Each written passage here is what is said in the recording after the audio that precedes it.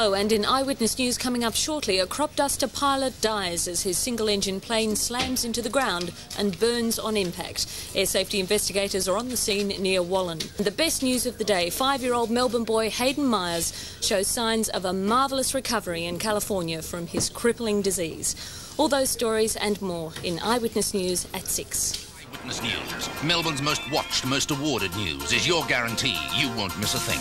Join Melbourne's most popular presenters, first at 6 on Channel 10. We've got laughs together, smiles together. We can share in the news together. We're showing the world in our own special way. The entertainment goes on forever.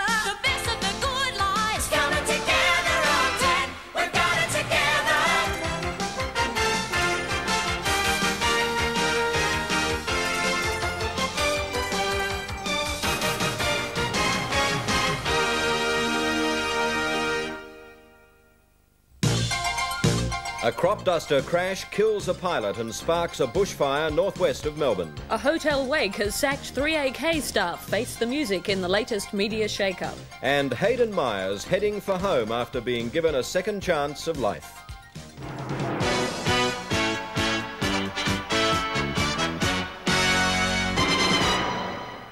Good evening. Also tonight, a missing man mystery leads to fears of murder. Oh, uh, What a knockout. Rob's been a good boy lately, hasn't he? He's been very, very good. Thanks very much, Bruce. Just a reminder that tomorrow night, the footy news from around the clubs in a brand new major news sports segment tomorrow night in the news. Next, the weather and great conditions for a nice day today, but a lethal mixture for our air. Yes, we had a good smog again, Jo. I'll have details on that uh, in just a couple of minutes, and also the outlook for the continuing spell of fine weather into April, right after this break.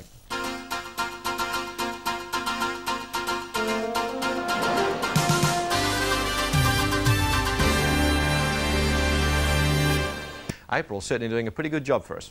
And a beautiful weekend. Thank you, Rob. That's Eyewitness News to this hour. Our next update at 8.30. But for now, on behalf of the entire Eyewitness News team, do take care and good night. Good night.